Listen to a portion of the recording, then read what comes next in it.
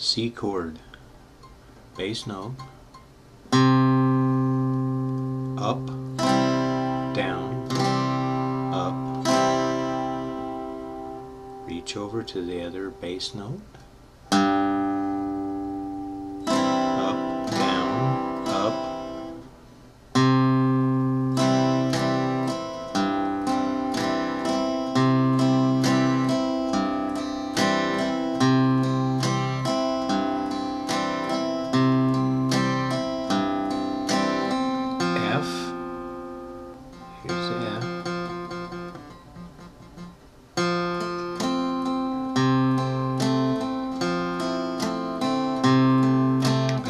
C.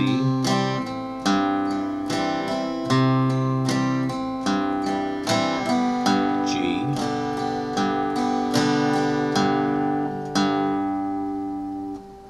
Open A. Second fret A third fret A and lay your fingers back down to a C.